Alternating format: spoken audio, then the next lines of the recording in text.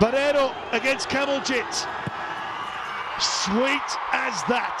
1 0 Northeast United against the run of play.